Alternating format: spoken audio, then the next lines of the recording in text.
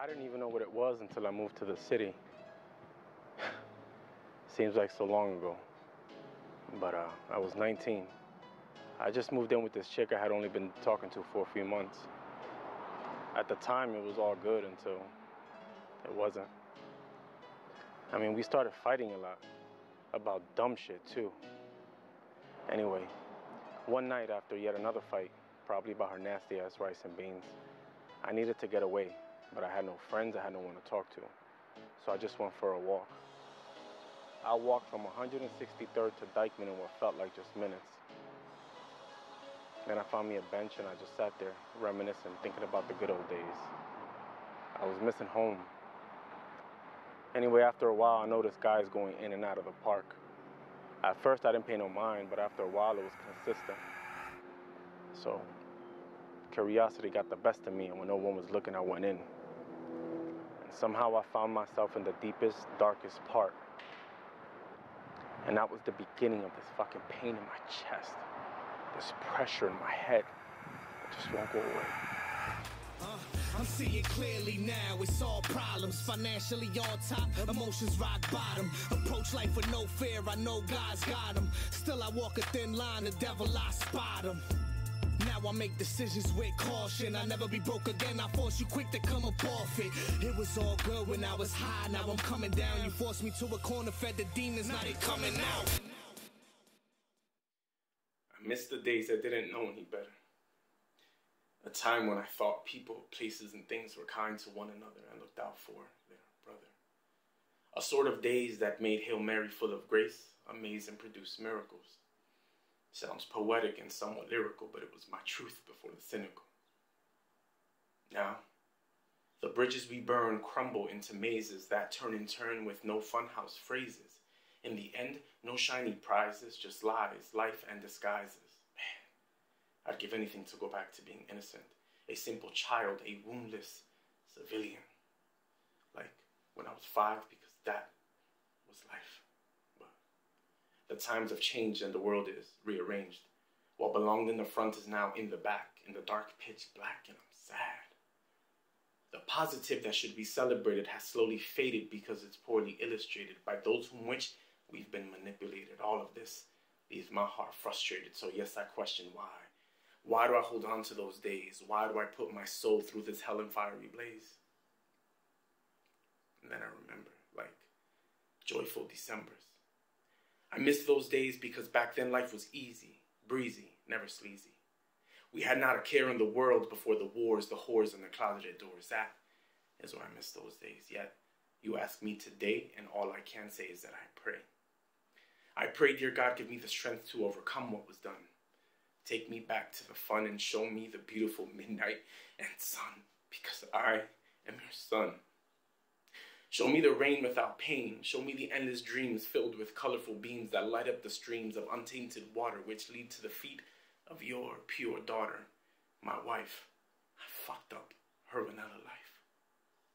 Dear God, please show me the way back to that days because I am broken. But by you I have been chosen. So here's a bit, here's a token of that moment when my uncle touched me, violated me, he raped me. I was six when thrown into the mix. Yeah, I was alive, but had died a little inside because I was deprived of a childhood by his manhood. Where was my father, Robin Hood, when I was in despair? Feeling like I was stripped bare and practically put on display for people to stare. Growing up, life was not fair. And even as a preteen way past 18, I felt deceived, for what I had perceived had deceased with my ideas of love. I had no white doves and picket fences, no clean gloves. My hands were dirty, he said I was pretty. His eyes masked in pity as he instructed me to dismiss, to reminisce about golden cities. But it's not a myth. I'm here to tell you I once was whole, but this hole is consuming me. I should be king of a happy home, steadfast on my throne, but no. I am now half the man I would be if I even could be at 33. Silently pleading for someone to save me so I don't have to let random men touch me as I flee mentally from this hole that is killing me. They don't know it, but they help fill a void because I was toyed with as a boy. And to them, it is what it is, but it is the reason why I miss those days. When I thought people, places, and things were kind to one another and looked out for their mother their brother, their father. Our Father, our Father who art in heaven. I can't just pray these days away. I can no longer just hope someone rescues me from these mazes where I find lust, these hopeless places with nameless faces, sometimes high on mushrooms just to numb the fact that I'm bruised. I cruise.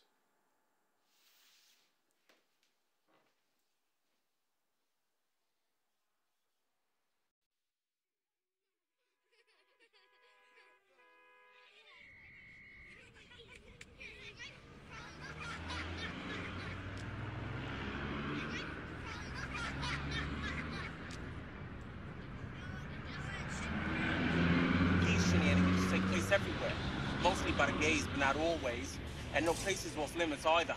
Malls, parks, bathrooms, hospitals, libraries, you name it, and there's probably a gay man, but not always, within a few feet cruising or being cruised. Hookup applications for them smartphones have definitely made it easier, but the good old-fashioned way seems to be just as effective, and from what they say, even harder. However, no matter who, what, where, when, why, how it is done, steps must be taken to ensure a successful outcome. Yeah, I wanted that to rhyme. I'm a bit of a poet, you see? I mean, it's fun if done correctly and safely, that is. Shit, I've had my dick sucked at a bus station, train station, cab station, even at a police station, all by the same off duty officer. Wearing different sunglasses as if that made a difference. I'll be general because I'm not trying to put my new friends on blast. However, this work is important and I'm compelled to share this information. Maybe you've learned a thing or two in the process. Also, feel free to take notes because you're getting some insider information. Yeah, I see you curious George over there behind the tree. I smelt you. You got that cheap cologne on. Who wouldn't smelt you? uh, there was this uh, one time after a long night of partying, I picked up this guy on my block. I took him upstairs. I asked him to turn around and bend over. His ass was incredible. Until I noticed he had dry wads of toilet paper in his ass. it was disgusting. the only way that I could explain it was as if he started to wipe and then just gave up. Like, seriously? Just gave up. that shit turned me off from the whole thing for a while. That wasn't until I was on the Uptown 1 train one sunny Monday morning. This older Puerto Rican daddy donning a wedding ring and a massive bulge gave me the eye. Step one, eye contact. This is crucial. Believe it or not, kids, this simple method of nonverbal communication is essentially what determines if the cruisee is ready, willing, and able.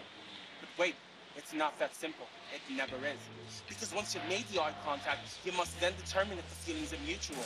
Which brings me to step number two, which I like to call response and confirmation. I'm assuming you're a gay man and the one who's doing the cruising. I mean, women cruise, but not in the same way the gays do. The women don't have to cruise. They get off a penis on a daily basis. I see it. I've offered my penis, but they don't want a dirty penis. I've tried to shower, but I can't find a shower. It's getting hard here in the city. he proceeded to get hard and adjusted a lot. Right there on the train. I mean, discreetly, of course. Where was I? Oh, yeah. You're a gay guy and you're the one who's doing the cruising. Effort, discreet effort must be made in order to figure out if the person you're cruising is just being nice by acknowledging you or they're looking to hook up too. So you must make intense and deliberate eye contact numerous times, not only to establish but ensure a connection. To know me is to know I'm not one to argue with Dick. So I did what I had to do. Called out of work, took him home, and played with it all day. You could judge me if you want, but the insecure, abused, and battered boy me from the projects was flattered. Flattered that I was the object of his desires. It was it's kind of like I felt loved and shit. Like he loved me enough to get hard. I know that sounds strange, but whatever. Anyway, so Side note, if a guy looks at another guy more than a few times, meaning if a guy looks at you more than a few times, I doubt he's just being nice, so go for it. But just be careful because you may encounter a heterosexual, homophobic man who will gladly shout you out on the train during rush hour for looking at him too much in front of everybody. It didn't happen to me. It happened to a friend of mine. Saw it with my own two eyes, heard it with my one good ear. Moving on, step three. If there is a connection, you must respond the eye contact exchange with an aggressive yet still nonverbal sexual gesture in hopes that it will be reciprocated. This further confirms the willingness of the other party to engage in a sexual encounter. Let's get a little deeper. If he's dominant, which I've been told means a top, he'll grab his penis or single nod. If he's submissive, which I've been told means the bottom, he'll lick his lips or stare ferociously at your bulge. Either way, kid, you must respond however you see fit, no judgment, in order to get to move into location number two. You know why? Because sex in public is illegal, and I'd hate for anyone to get caught up in the vicious cycle of systemic racism. You may think it's not the same thing, but it's the same thing. Minorities, all minorities, they like to keep them down, kick them while they're down too. This is why I'm homeless. I used to live in San Francisco, and look what's going on over there. I, I practically walked to New York. That was around this time I was back at the gym. I had gained some weight from my depression. I just felt like guys weren't really hitting on me the same. So I put a lot of time and energy into my workouts. And one day, after an intense set, Was cruising the locker room. Now, those gym towels are only yay big, and he was yay big. So eventually, I followed him into the steam room. And let's just say I blew off a little more than just some steam. It was hot though. Mm. And hot too. But I was nervous because I couldn't get arrested again. So I just played for a few minutes. And something about the smell of steam makes you nauseous. It's important to note for you newbies that whatever aggressive, non-verbal sexual gesture you choose will determine who is top and who is bottom. So choose wisely, because if you didn't clean out, you shouldn't be out. Listen, living in these streets, all these years, I've seen some shit. No, no, no, literally, I've seen some shit. Look, I could go on and on about this, but I'll just say this. I've come. See what I did there? Anyway, I've come to the conclusion that when someone's on a mission, whether gay, straight, or whatever, they won't stop until they get what they want. If you've gotten this far, you're now at location number two or three, and are about to finally communicate verbally. Although it is unlikely something may not happen at this point, you never know because of the question. But wait, kids, there's more. The question. Listen, this question has single-handedly been responsible for making or breaking a potential hookup. I've seen it with my own two eyes, heard it with my one good ear, and I don't lie, I'm a Catholic. You're ready for the question? The question is, what are you into? Can you believe that, folks? What are you into? You know, I thought sex was super simple until I met my friends, the gays. Oh man, it's complicated. We're all trying to fill something, whether that's a mouth, a hole, or a void. And you know, it affects more than just the people doing the cruising too. I guess it's deeper than sex, you know? You know?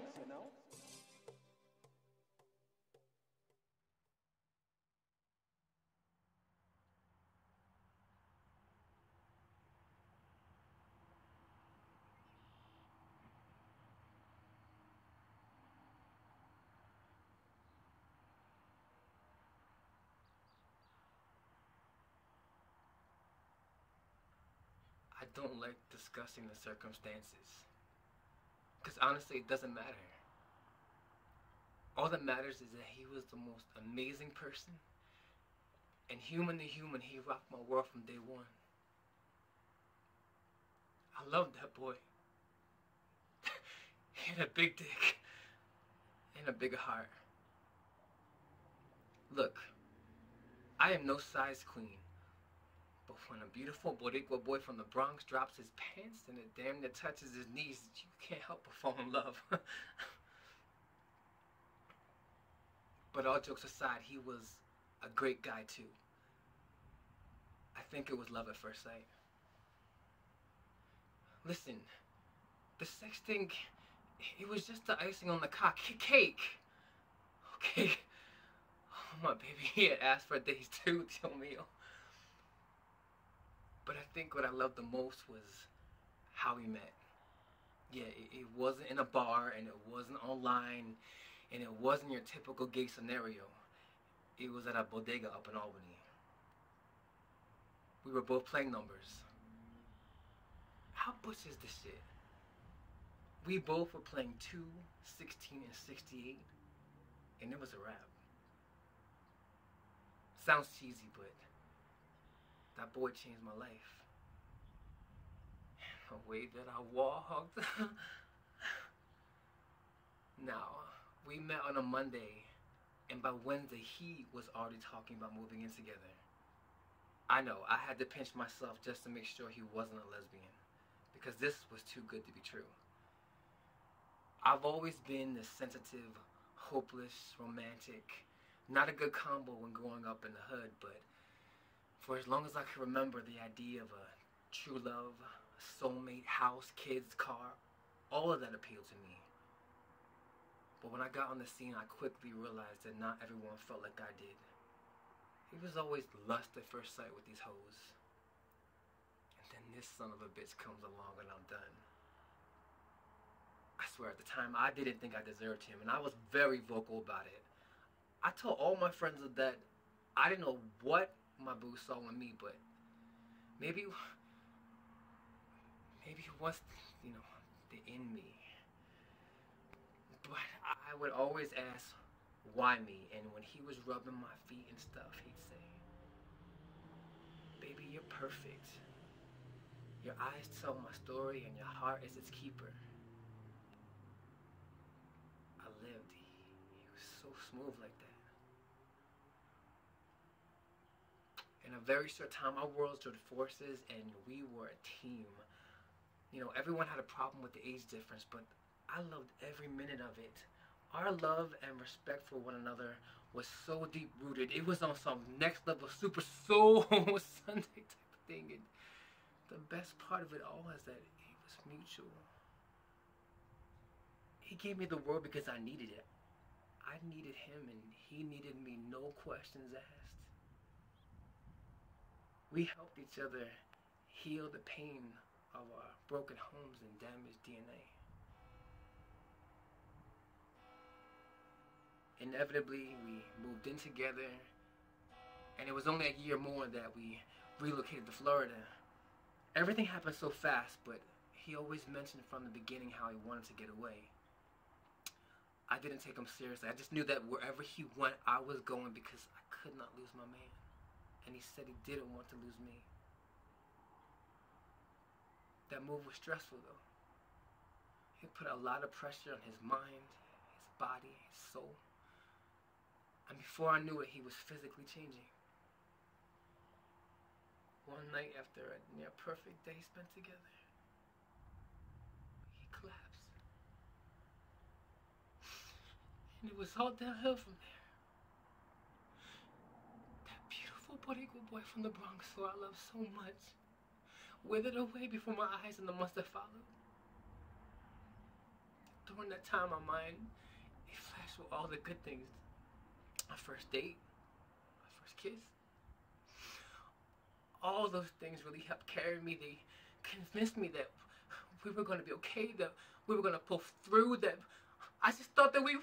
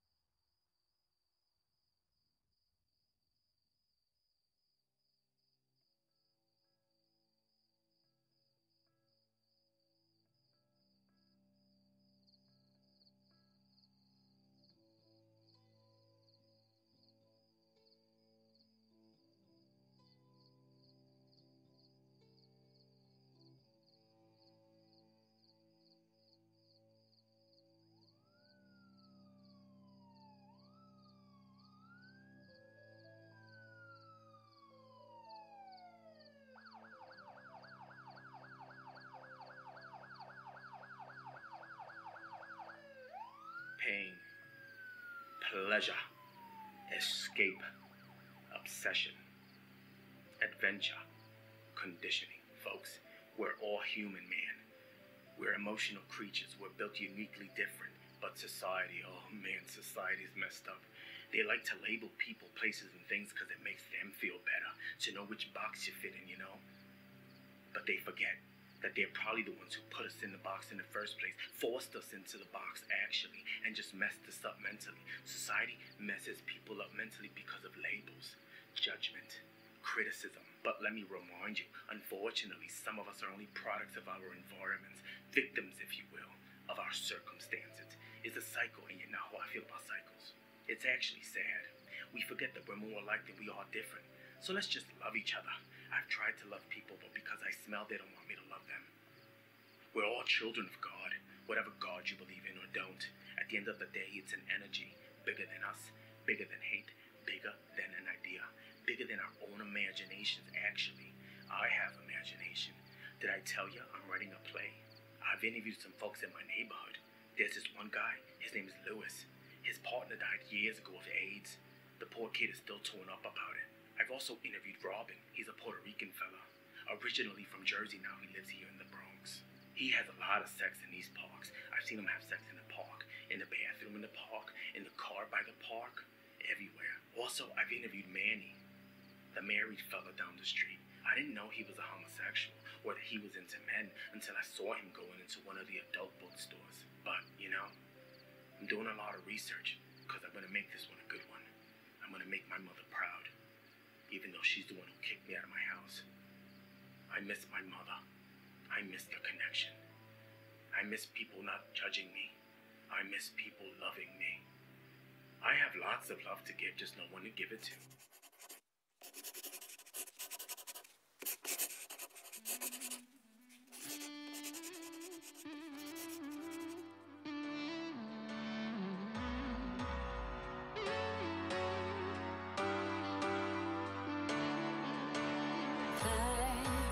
Swallow